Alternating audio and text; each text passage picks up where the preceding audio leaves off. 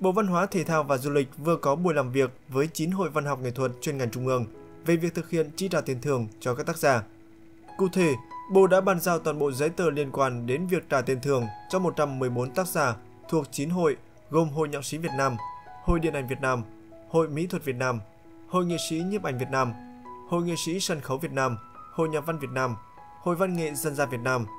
Nguồn tiền được ứng từ ngân quỹ nhà nước nhàn rỗi để bổ sung kinh phí cho các hội văn học nghệ thuật chi trả dài. Hội Nhạc sĩ Việt Nam được phân bổ nhiều nhất với 5,6 tỷ đồng, Hội Điện ảnh Việt Nam là 5,4 tỷ đồng, Hội Nhà văn là 5,3 tỷ đồng, Hội Nghệ sĩ múa là 5,1 tỷ đồng, Hội Nghệ sĩ nhiếp ảnh là 3,1 tỷ đồng, Hội Mỹ thuật là 2,6 tỷ đồng, Hội Nghệ sĩ sân khấu là 2,5 tỷ đồng, Hội Văn nghệ dân gian là 500 triệu đồng,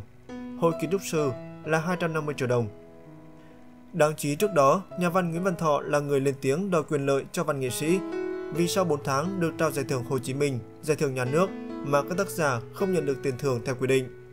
Nhà văn Nguyễn Văn Thọ cho rằng việc mình lên tiếng là hoàn toàn đúng đắn và sau này để thuận tiện thì Bộ Văn hóa, Thể thao và Du lịch nên chi trả tiền thưởng này cho chủ động chứ không cần thông qua Bộ Tài chính.